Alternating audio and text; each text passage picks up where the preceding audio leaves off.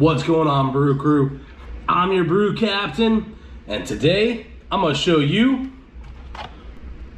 how to vortex a beer. Let's get this started.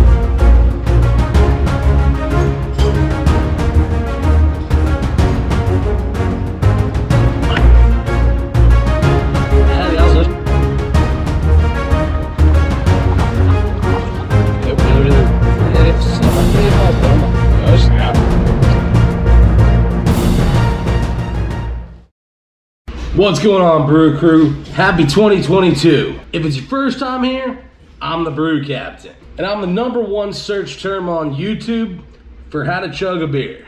Now, I filmed my how to chug a beer video when I first started my YouTube channel. I really had no idea what I was doing. I had no idea how to edit. And honestly, I wasn't as good as chugging as I am now. And throughout the months that I've had my YouTube channel and I've met all y'all, we've had a lot of comments, a lot of suggestions, and a lot of fun. But one of the biggest requests I've had is how do you vortex a beer?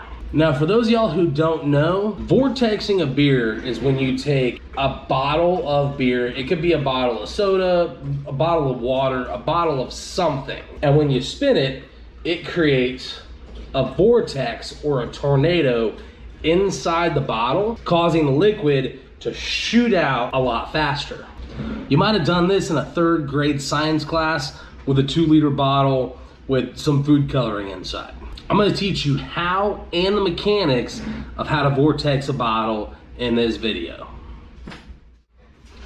So the first thing I'm gonna do is show you what the vortex looks like going into a bowl so you can see what it looks like coming out of the bottle before I do it to drink. When you're drinking it, the first thing you wanna do is empty just a little bit out of it, right to where it's at the neck of the bottle. Right about there. When I spin this upside down, it's naturally gonna pour out. But as soon as the liquid completely covers the mouth of the bottle, it's gonna stop flowing, it's gonna create a bubble, and it's gonna explode back through the bubble, causing it to kind of dump out in a weird way. When I spin the bottle, you're gonna see what it does. This is probably gonna cause a mess. We'll set down a towel. All right, so I'm gonna dump it and I'm gonna spin it really, really quick. Just like that. Let's go ahead and put that on replay in slow motion so you can see what's happening. All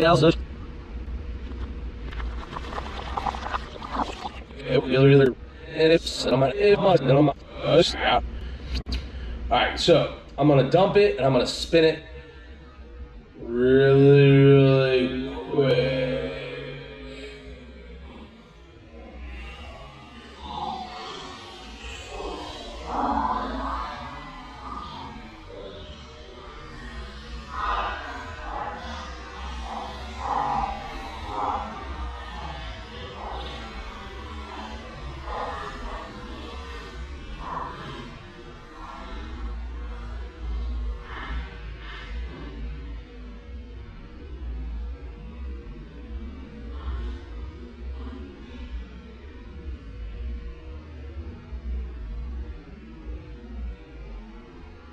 Just like that.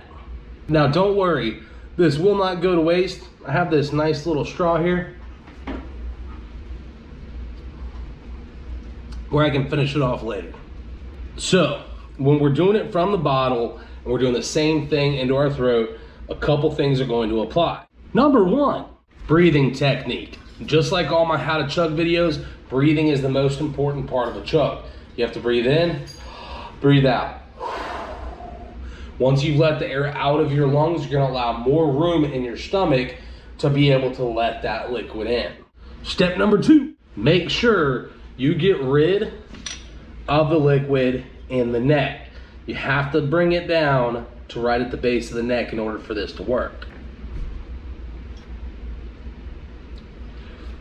Oh.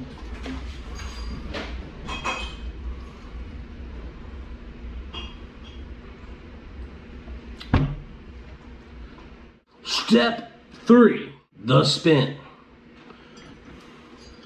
When you have the bottle, once you've drunk it down past the neck, you gotta flick the wrist. I've tried all sorts of ways where you pull back up here and then you spin. You can't do it. You gotta spin as you're going up. So it's gonna look something like this. Now, you're gonna look like an idiot when you first do the part. Because no girl at a party has ever been impressed, or no guy that you're trying to make friends with has ever been impressed by somebody doing this.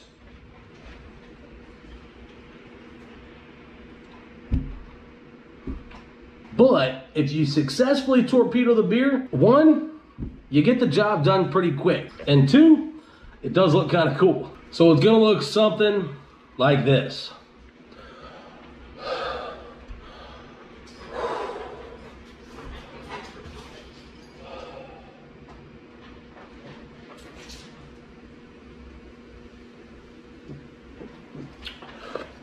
Now, you want to try not to get it all over your beard. But hey, it's effective either way. We're gonna do it one more time just to show you a little cleaner version of it. This time, we have Porter the Brew Dog support. Right, Porter? Thanks, buddy. All right.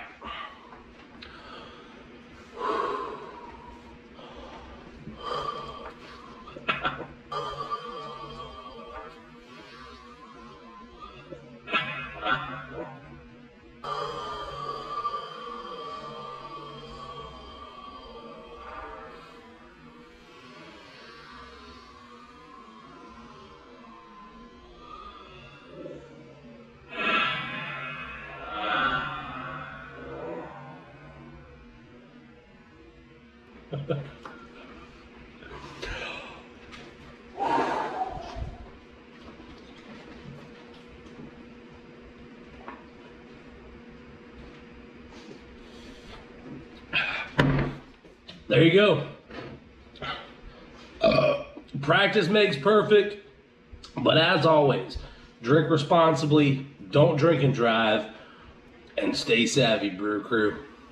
Check out the next video and go ahead and subscribe because, you know, you love me.